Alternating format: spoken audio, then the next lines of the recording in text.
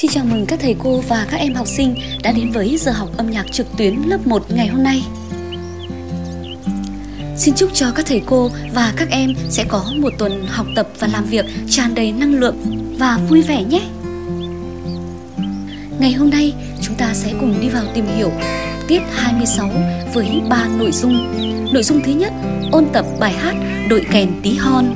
Nội dung thứ hai, âm nhạc thưởng thức tiếng đàn thạch xanh Nội dung thứ ba, nghe nhạc Cộng cách tùng trang Và bây giờ chúng ta cùng đến với nội dung số 1, ôn tập bài hát Đội kèn tí ho nào. Sau đây chúng ta cùng nghe lại giai điệu của bài hát nhé.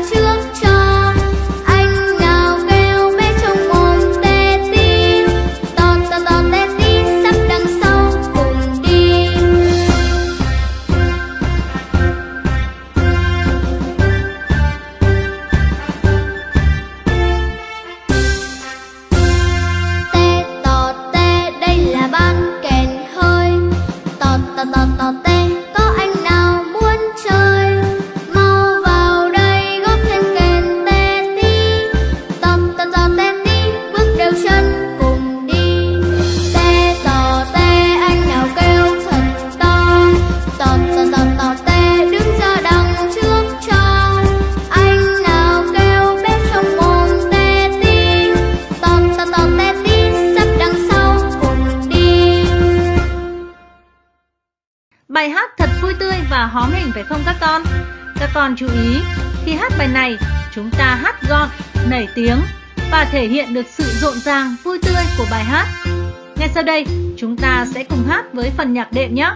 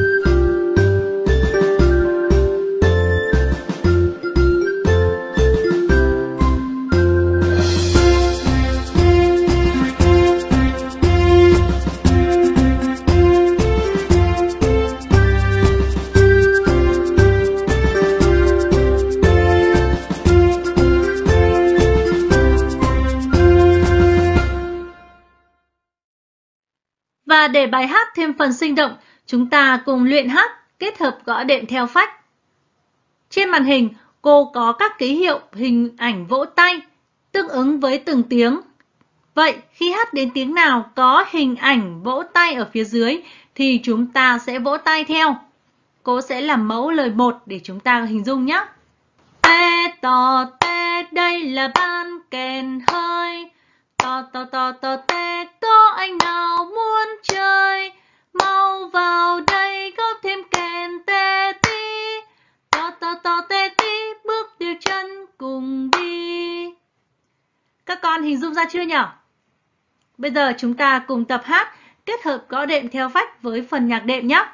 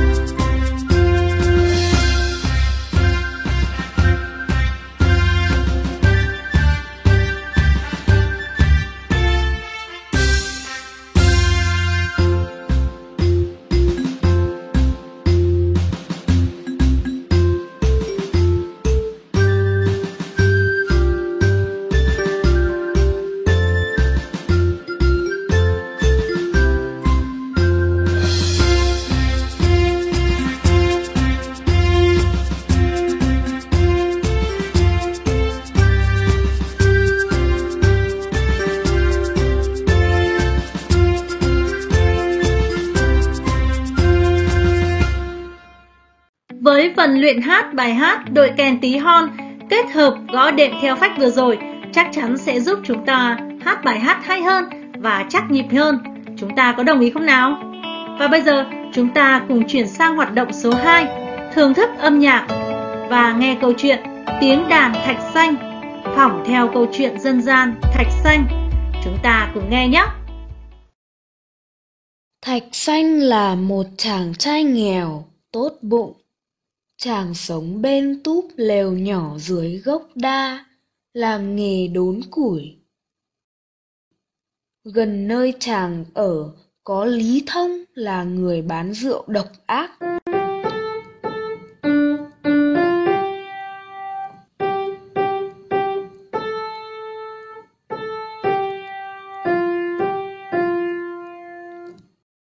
Thạch Xanh kể cho Lý Thông biết chuyện chàng đã thấy đại bàng bắt công chúa Quỳnh Nga.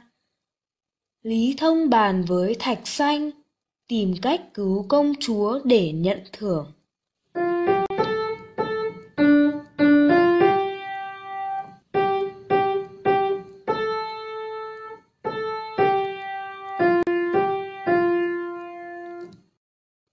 Thạch Xanh cứu được công chúa. Lý Thông lấy đá lấp kín cửa hang để hại Thạch Xanh và cướp công của chàng. Công chúa thấy cảnh tượng đó nên đã tức giận và hóa câm.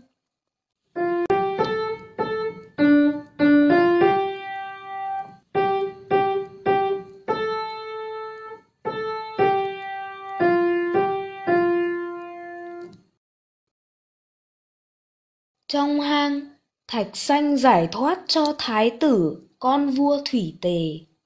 Sau đó, vua tặng chàng nhiều vàng bạc, châu báu. Thạch Xanh không nhận, chàng chỉ xin một cây đàn có nhiều phép lạ, rồi quay trở về.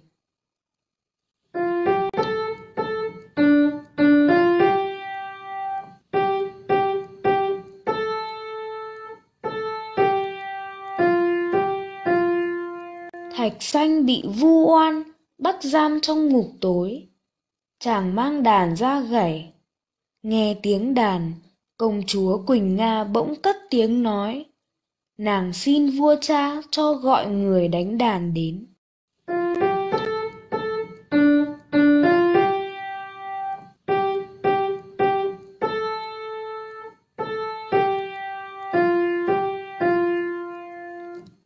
Sau khi biết sự thật, Lý Thông bị nhà vua trị tội.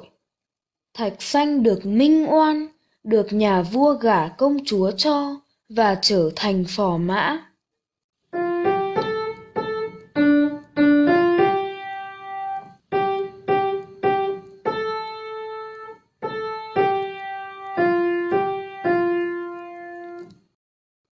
Ghen tức vì không có được công chúa, chư hầu mười tám nước kéo đến vây kín kinh thành. Thạch xanh đem đàn ra gảy. Tiếng đàn làm cho quân giặc dã rời, mất hết nhuệ khí, phải rút quân về nước.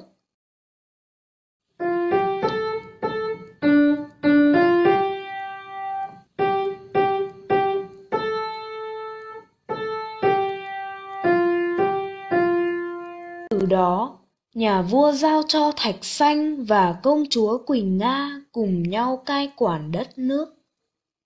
Nhân dân được sống trong thanh bình, mọi nhà đều no ấm, yên vui, hạnh phúc.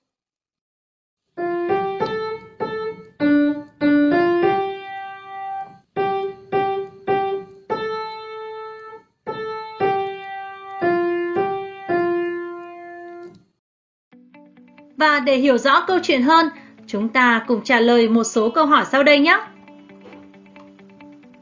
Hai nhân vật trong tranh có tên là gì? À, đó là nhân vật Thạch Xanh và Lý Thông phải không nào? Thạch Xanh kể cho Lý Thông nghe câu chuyện gì? À, Thạch Xanh đã kể cho Lý Thông câu chuyện Đại bàng bắt công chúa Quỳnh Nga.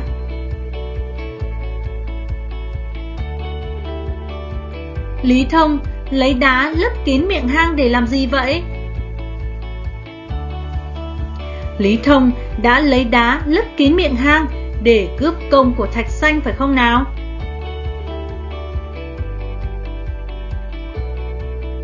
Bị nhốt ở trong hang, Thạch Xanh đã gặp vua Thủy Tề và được vua Thủy Tề tặng cho chiếc đàn có nhiều phép lạ rồi quay trở về.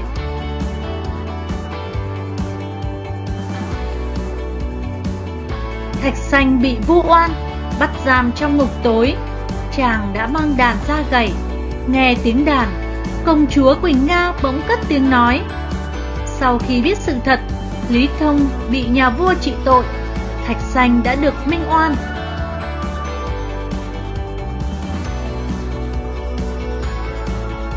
Vậy các con có biết chư hầu 18 nước vây đánh, Thạch Xanh đã làm gì không?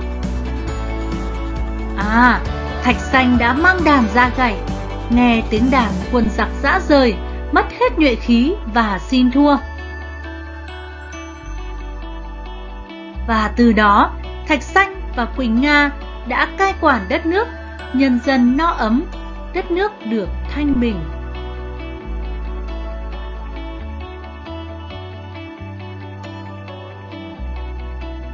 Thông qua câu chuyện trên, chúng ta thấy rằng tiếng đàn của Thạch Xanh đã cứu giúp công chúa khỏi câm, đánh đuổi giặc, giữ yên đất nước và từ đó càng giúp chúng ta thêm yêu âm nhạc, luôn tin yêu giá trị đạo đức của con người.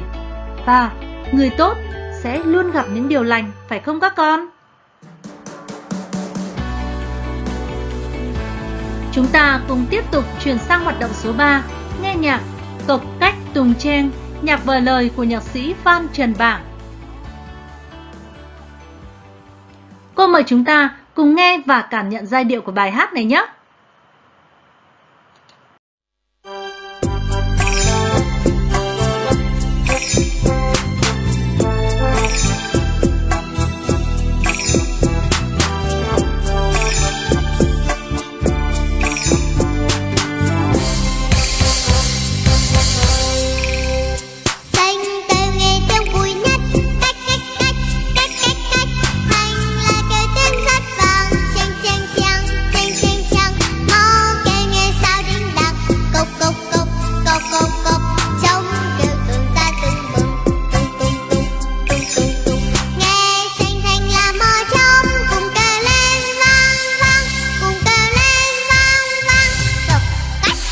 跳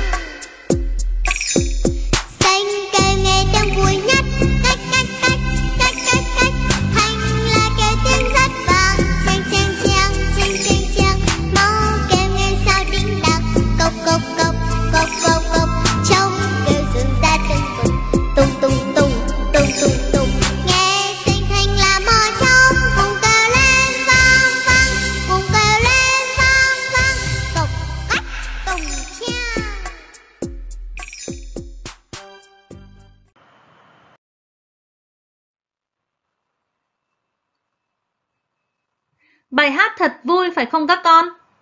Và để bài hát thêm phần hay hơn nữa, chúng ta sẽ cùng nghe nhạc kết hợp vỗ tay theo nhịp. Tương tự như bài đội kèn tí hon vừa rồi, cô có các hình ảnh ký tự vỗ tay. Vậy, tương ứng với mỗi tiếng có ký tự hình ảnh vỗ tay phía dưới thì chúng ta sẽ vỗ tay theo. Các con hình dung ra chưa nhỉ? Bây giờ cô mời chúng ta sẽ cùng hát kết hợp vỗ tay theo nhịp nhé.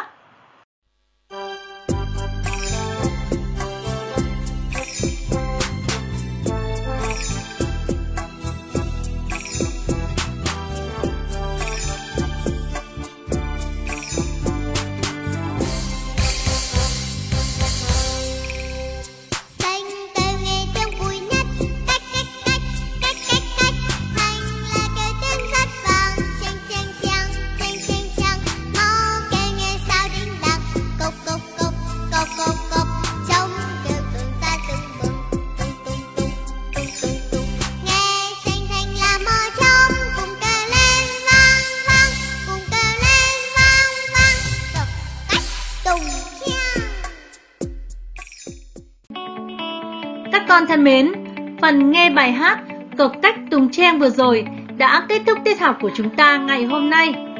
Các con chú ý, hãy học thuộc lời ca và tập gõ đệm theo phách để bài hát thêm phần sinh động nhé.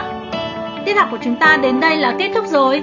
Hẹn gặp lại các con ở những tiết học sau. Xin chào và hẹn gặp lại!